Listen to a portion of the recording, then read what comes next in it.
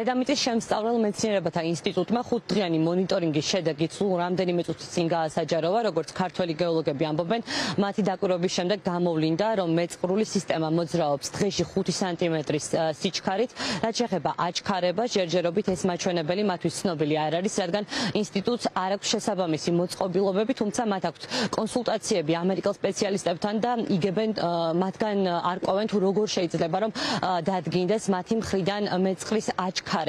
ეს მაჩვენებელი კი საკმაოდ მნიშვნელოვანია იმისთვის რომ გავიგოთ რამდენად სწრაფად შეიძლება რომ დაიძრას სისტემა. რაც შეეხება ბზარებისა და ნაპრალების სიღრმეს.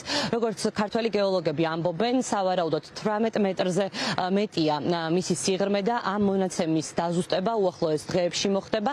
რაც შეეხება რეკომენდაციებს, ისინი მოუწოდებენ დედაქალაქის მერიას, რომ დროულად გაჩერდეს ყველა ტიპის სამუშაოები მეწყრულ ფერდობთან და მიმდებარე ტერიტორიებზე, რადგან ნებისმიერი ნებისმიერი ტიპის გადაადგილება არის საფრთხის შემცველი, რადგან შესაძლოა რომ ჩარევებმა მეწყრული პროცესები კიდევ უფრო მეტად დააჩქაროს.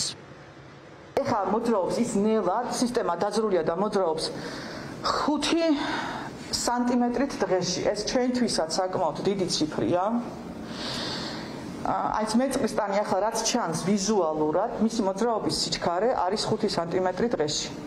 ეს მეგობრებო არ არის ცოტა, უნდა მომემზადოთ უარესი სცენარებისთვის.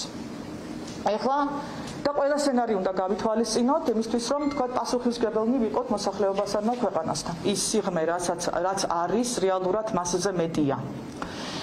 ანუ 10 მეტრზე მეტია. კი ბატონო, 10 მეტრზე მეტია. ჯერჯერობით ახლა გვაქვს 18 მეტრი. ეს არის ქრესტომატია. ეს არის 2 2 4 მეტრზე არავით არის. სამშენებლო სამუშაოები არ უნდა განვითარდეს. ეს მეტრის ხეული არის ძლიერ დაბზარული, არა მარტო გამოფიტული და შესაბამისად განიცდის ასე ვთქვათ მოძრაობას ფერდობის მიმართულებით. არის საშუალება იმის, რომ დაიძრას ასე ვთქვათ სხვადასხვა პროცესებიდან გამომდინარე და წვიმა არის ერთი ფაქტორი.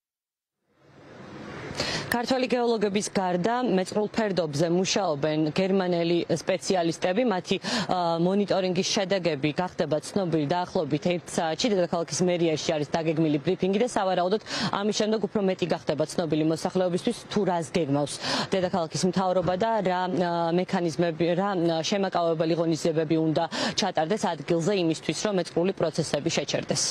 ობა გვანცა გვანცა გავაშელი საუბრობდა პირდაპირ ეთერში და როგორც უკვე ვიცით მაჭავარიანის ქუჩასა და მიმდებარე ფერდობზე მეწყრული პროცესების შესახებ მერიამ მონიტორინგის პირველადი შედეგები სწორედ დღეს რამდენიმე საათში უნდა გამოაქვეყნოს. უცხოელმა გეოლოგებმა აღნიშნული ტერიტორიის შესწავლა უკვე დაასრულეს. მერიამ კი ამ საკითხზე მუშაობა და რეაგირება მას შემდეგ დაიწყო რაც მედიაში გავრცელდა საფრთხის შემცველი ფერდობის შესახებ ინფორმაცია და კადრები